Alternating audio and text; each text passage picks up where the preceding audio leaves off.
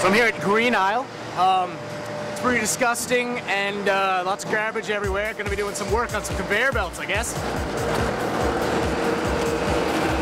So you want me to rip those bags and then dump all of the, the paper on this conveyor belt?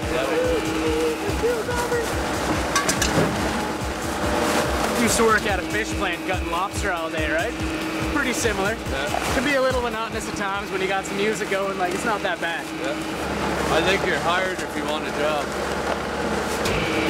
Thanks. These are for refundables.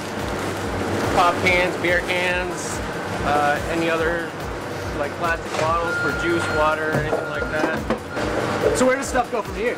Uh, it keeps going down the line and then it should be just paper that goes around the corner. So it's paper. Okay, okay, okay. Go Which ones here. go in here? In here, just plain white paper. Plain white paper. This is white. Everything else, newspaper, any recycled paper like that. can just go down there. All right. So basically everything that's not white. Right. Here we go. After that, anything that any tin or aluminum or anything that's left on is going to go through this machine. Um, the belt there has magnets in it. Oh. Right? Everything's going to get sucked up there, sent down a chute there to where it's actually baled into probably 80 pound blocks of solid And it gets crushed into a big block. Okay, right here, I'm showing you the baler line. So let's jump on? Okay. Anything you see that's not a plastic bag, grab it off. Sometimes you have to kick with your feet to Ah. make sure you feel it.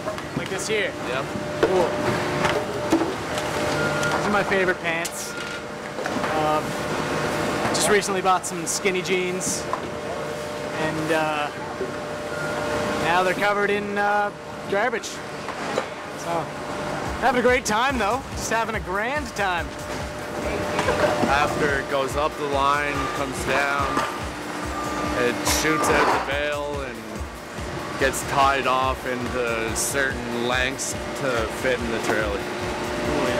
So, what happens after that? Like, where does it go? After that, we get a guy with a forklift to lift them up and we fill these trailers here.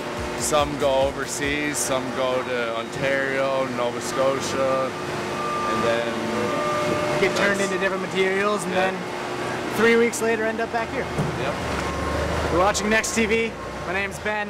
I'm covered in garbage. Have a nice day.